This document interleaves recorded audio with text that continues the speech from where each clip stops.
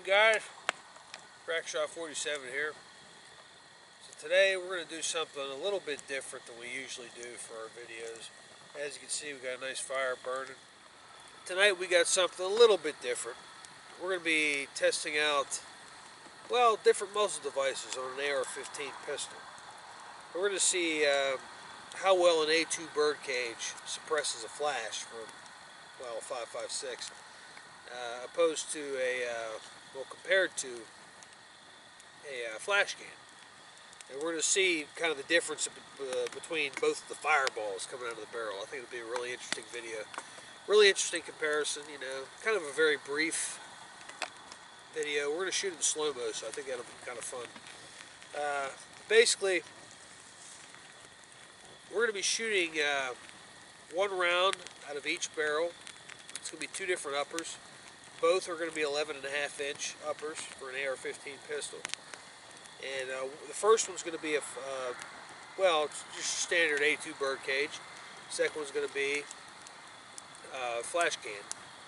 Um, and I think this is going to showcase how effective an A2 bird cage actually is at suppressing flash out of a five, uh, out of a 5.56 chambered AR-15, specifically 11, 11.5 inches. So let me know what you guys think down in the comments and uh, enjoy. Uh, this is going to be part one, probably of a part two series. We're going to be testing different muzzle devices at night to see how effective they are. We're probably also going to test just the uh, AR-15 without a like Sands muzzle device, you know, just with like, you know, either either like a thread protector or just bare threads. So, hope you guys enjoy. Stay tuned.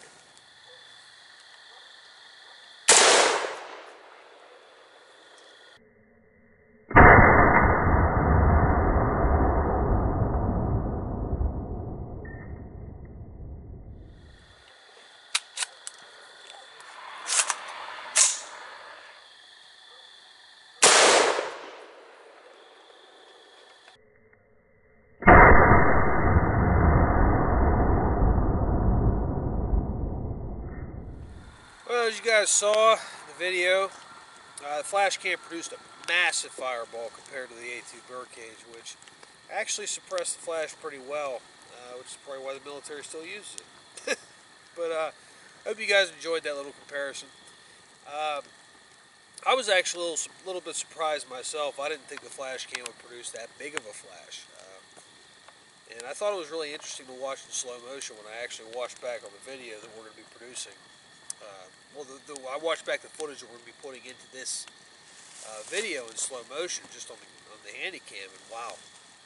Uh, it's really interesting to listen to a uh, bullet come out of a 5.56 chamber of that, well, that size. Just the sound of it's really, really interesting in slow motion.